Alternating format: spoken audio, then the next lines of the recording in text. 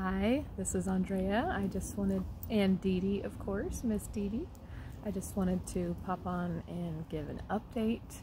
Um, so, let's see, I had my infusion at the end of May.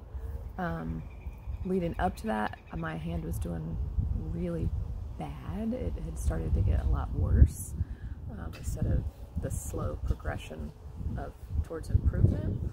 Um, and so I was really nervous about that. Anytime it backslides, I start to freak out. And part of me thought maybe it was because it was time for me to be getting another infusion. Maybe it was getting worse because the infusion was wearing off. But it turns out, for those who didn't see the other update, um, that it got a lot better with myofascial release treatment um, from my friend and physical therapist Amanda. Thank you, thank you. And this is not the first time that that has happened throughout all of this. And so it's become very clear to me that yes, I have nerve damage, I have lesions on my cervical spine, but my overall cervical instability and bad posture and tight muscles and fascia and sleeping on my right side and all these other things make it worse. Um, because basically what happened was I went in for treatment two days before the infusion and miraculously had huge improvements um, in the functionality in my hand that had nothing to do with the medication. One thing that's confusing for a lot of people is this medication that I'm on is to stop future flares. Um, so it's not healing anything. Now it it's helping bring down inflammation in my body, so it's helping, you know, somewhat, but it's not a medication that's supposed to heal the damage that's already done. There's nothing for that except time. um, and sometimes you get your functionality back to 100%, and often you do not. That is unfortunately the uh, shitty nature of multiple sclerosis. So, um, so I'm really grateful that things um, have improved so much. I, I still um, so I can I can pick things up, so that's good because like this book I would not have been able to hold that um, bef- before. Um, I wouldn't like I went from being able to hold a glass of water um, and and drink, although I can tell that the strength is not there, so I have to be very careful. But I could actually drink with my right hand, and before um, that particular treatment, I had lost that ability. I was back to where I could barely hold an empty glass or a tiny, the little Pyrex one cup bowls that are clear. I couldn't, you know, even hold something like that. So, so I have a lot of more functionality back, so that's awesome. Um, and that helps with my attitude and depression and things like that too um, because it makes me feel like I've got some hope because um, I've really been lacking that these last months. And so, so since then, I've continued to um, have slow improvement. Um, it's really super slow, but um, you know, I'm I notice little things. I haven't been to occupational therapy in a while, so I haven't had to actually measure. They have you squeeze these things that and do some timed tests and different stuff that can help see the progress. So I, I need to have another appointment to to know that, um, like with the scientific data. But I am noticing things that I can do that I couldn't do before. Um, but I had another treatment. Like I go in and get myofascial release pretty much weekly. I'm also getting acupuncture weekly. Um, and both of those have been really helping a lot. Um, but there's, you know, different things are getting worked on in different sessions. And I had another session, it might be about a month ago, with the myofascial release where she actually worked on um, my skull.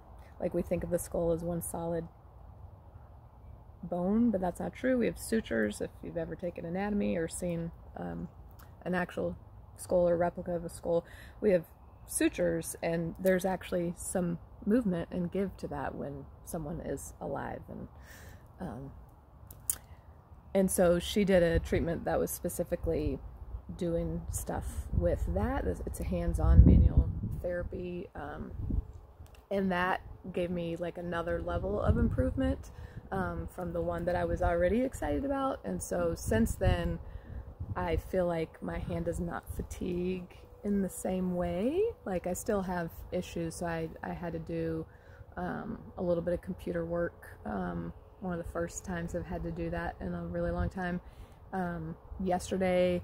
And so my hand was kind of feeling it from that, but like woke up today and it's back to what it was before. So that's excellent. Um, it's it's bouncing back faster. Um, so that's really good news the neurologist and the occupational therapist and everybody seems to think that I'm still going to continue to have this very slow um, progress and, and, improvements. And so uh, that's what I'm that's what I'm trying to like focus on because it does still get really frustrating because there's still a lot of things that I cannot do because the strength just isn't there um, Dan still is having to do a lot, and he has not complained, um, which is awesome. Um, he's really stepped up with having to pick up the slack on things that I cannot do around the house. And then, of course, I have a friend that comes and cleans. Um, that has been really helpful. And so, yeah, things are still improving, and they're also still really rough. so um, I'm not gonna lie, like this is not easy, not any fucking way. Um, every day um, there are struggles, and I have good days, and even the good days aren't that great. Um, so I don't have a lot to look forward to. Um, I don't have a lot of things I can actually do, so that's part of what I'm trying to do is figure out this new normal and what that's going to look like for me. Um, part of that is I'm going to be trying to make more videos more frequently so that you're getting updates more frequently and I'm also sharing more of what's going on um, for myself because one of the things I can't do is write and writing has always been like journaling is like literally my spiritual practice and um, it's not the same doing voice to text or using some kind of technology as it is writing with your hand and so that type of emotional and spiritual processing has not been available to me now for months, and that is very difficult, um, as is not being able to do art um, like I could before. And so I'm just trying to find new ways, and making videos, I think, is going to be one of those. So, one of the things I'm going to be doing, um, other things as well, but um, I have this book that's called Healing Your Chronic Illness Grief 100 Practical Ideas for Living Your Best Life this is a series. This is the newest one in the series. I used this book um, after Jeff died because they have one that's just basic grief and the loss of a loved one. There's one specifically for children. And there's other topics. I don't remember what the different ones are, but they're all about grief in some way. And so as I go through some of the steps in this book, I'm going to share some of that through my journey and I've been making notes on my phone. Voice to text on the phone is awesome. So, as much as I can do on my phone, um, I'm doing. So, the tiny bit of editing that might happen with these videos is happening on my phone now. Um, so, thank goodness for smartphones because I don't have software yet on my computer that I can do anything voice to text or any of that. That's still stuff that's being investigated and haven't decided what I'm going to be doing there. So anyway, just wanted to pop on, give an update. Things are still very gradually improving and they're crappy all at the same time. So like everything, it's never clear cut.